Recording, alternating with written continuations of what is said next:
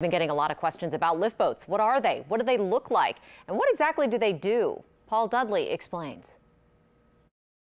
Lift boats transform into offshore platforms, and in the Gulf, there are lots of these boats as they help support the oil and gas industry. According to Seacor's website, the 129 foot vessel can work in depths up to 195 feet and has two cranes with 120 foot booms on each. They're mainly used for their cranes, it's the big part of what they do offshore. Lifting personnel, lifting goods, lifting offshore equipment onto rigs. The boats become a platform by dropping three legs down into the seafloor, and those legs keep the platform steady while crews work. As those legs reach the seafloor, the platform of the vessel begins to rise, and so those vessels can be stationary and do work offshore. This picture here of the Seacor Power after it capsized shows one of the legs out in the air.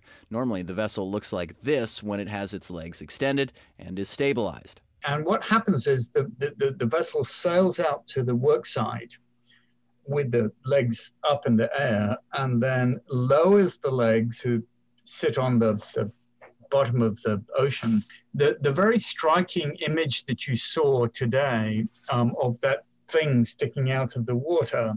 That's one of the legs. It looks like this vessel was on its way to a platform about 40 miles from Venice. It only made it seven miles and clearly did not have time to stabilize before tipping over. I'm Paul Dudley reporting Eyewitness News. Back to you.